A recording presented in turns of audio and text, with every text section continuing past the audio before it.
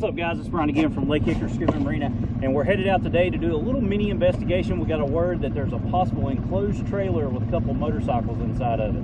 So we got our sonar here, we got a boat load of divers here. We're gonna go out, and see if we can find it. We're gonna mark it and then drop down on it and try to confirm, see if that's what it actually is. Now if it is, we're gonna come back up, we're gonna notify the local authorities and then see what we can do to get it out. But what I wanna focus this video on is, is how we actually triangulate what we're seeing on the sonar so that we can do a very methodical and thorough search when underwater. But we got to get up the lake here and then we'll see if we can find it.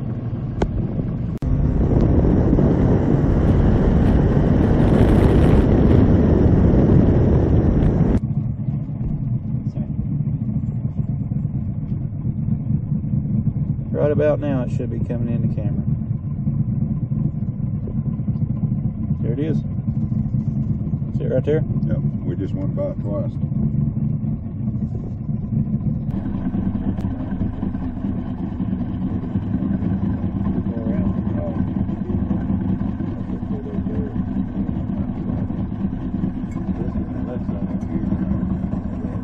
There it is, right there, drop it right there. Right, right, right around it, it just come up, see it? Those buoys are unrolling, what's pulling me, look, right? Oh, yeah, you're right. Mark it, mark it. What? Drop it. All right, that middle one that's unwound, that's the one we gotta follow down. Okay. I think that'll be enough. All right, guys, so we got it marked up. I don't know if you can really see back here behind us, but we've got several buoys back here. Um, and basically all we did was we hit it in four different directions. We dropped a buoy, and then we're going to draw a line between the north and south buoy, the east and west buoy, and then the center of those lines where they cross, that should be the object that we're going to look for. But we're getting geared up here. We're going to send two down to confirm, come back up, let the other ones go down, and then hopefully we'll get some good footage for you. There you go. Count of three. One, two, three.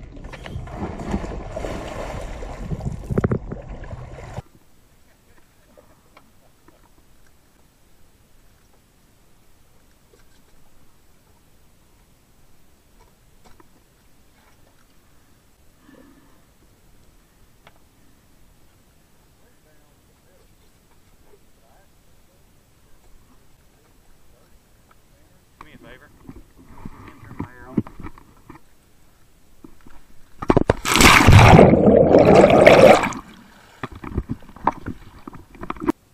Alright, you ready to try it again? Alright guys, so we've already got the object marked. Um, as you've seen earlier, we marked it with several different buoys. We've already sent two divers down to confirm that there is actually an object there. What myself and the two other divers are doing now is just to do a more thorough investigation of exactly what the object is. As we descend down here, uh, we're just going to be taking up some of the slack out of the line here. Anytime that you're dealing with black water, you don't want any type of slack line or excess amount of line. It can cause entanglements. It can be deadly to use a diver as well, so I'm just kind of taking that up. It is going to get kind of black down here. That We don't have much sun out today. There's a lot of turbidity in the water, and the first two group or the first two divers that we sent in, they've already kind of stirred up the area a little bit. So it's going to be a little bit black, but I'll try to explain everything that we're doing and what we're actually locating and how how we do an investigation here. But once we get to the bottom, we're just going to kind of get our bearings. Now we know for a fact that the buoy is not uh, directly on the object. We know it's several feet away, uh, and we know that from two different aspects. One, we know it as we threw it in, but we also know it from the first two divers that went in. So as I get some of the slack up here, I'm just going to go ahead and take a quick navigational heading. I'm going to tell the other two divers which way we're headed, and then we're going to head out that direction. Now we're approximately about 10 to 15 feet away from where the object is actually located, but we've got a good general idea of the direction thanks to the first two divers that went in. So as we head over to the object, we're going to come up onto the front of it uh, and we're going to start to investigate what it actually is. And like I said, we're kind of looking for an enclosed trailer uh, that supposedly has a few motorcycles on the inside of it. So as we locate the object, we're just going to do a good thorough search all the way around it to see what it is. If it's a trailer, we're going to look for a tag number, maybe a tongue, uh, things like that. And here I've actually located the object and I'm letting the other divers know, hey, I've located it. Um, you, there you can kind of see the front of it. And I can all, automatically tell this is not a trailer. Just from my training and experience, I can tell right away this is actually a vessel. This is some type of boat. Uh, and I happen to be at the bow of the boat here.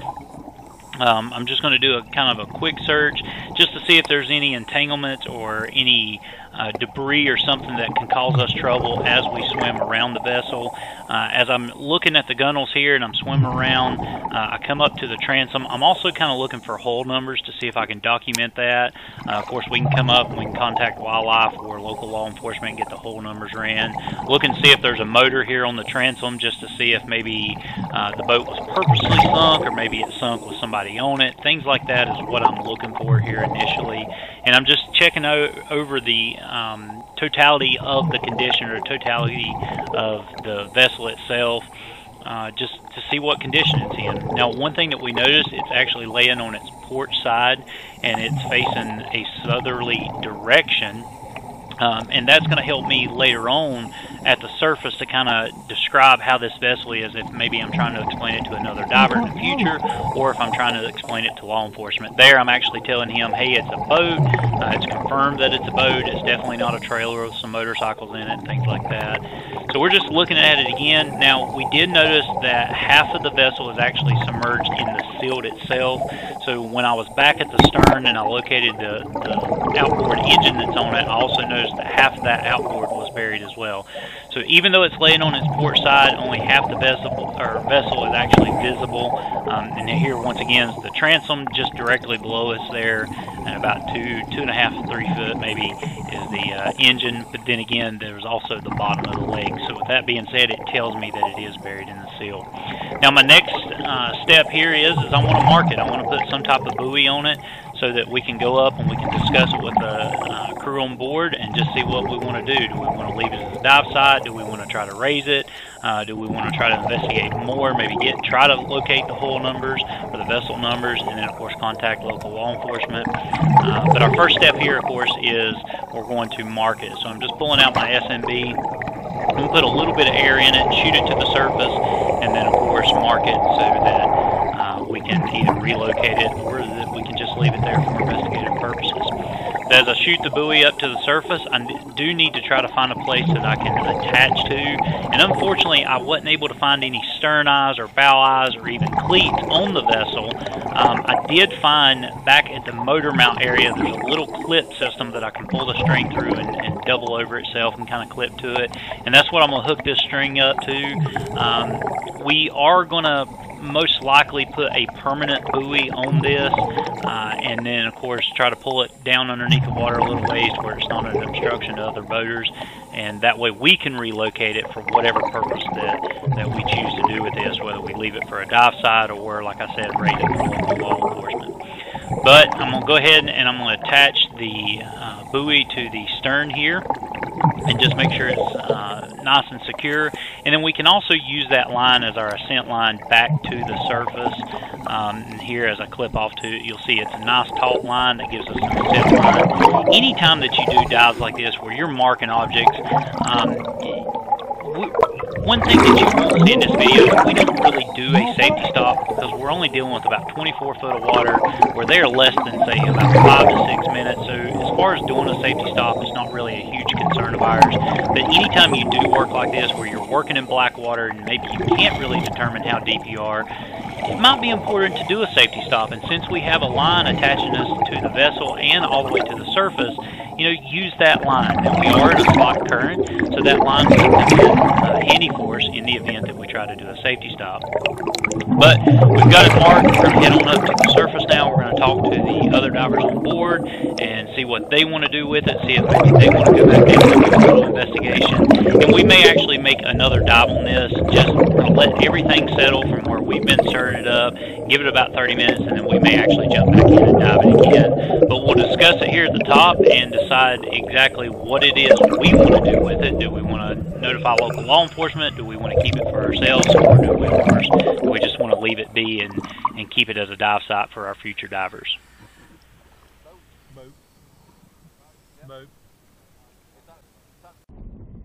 Alright guys, so we just got finished up. We confirmed that it wasn't a trailer full of motorcycles. It was actually uh, another vessel, another boat. Uh, it does have an outboard motor on it. Hopefully the footage come up good for you. But we got it marked. It was pretty good uh, as far as triangulating exactly where it was at. We sent two divers in first. They were able to ping right on it. We come back up. We switched out divers. We went down. We hooked a buoy to it just to confirm it from the surface. We ran, re-ran sonar on it just to make sure that is what we saw.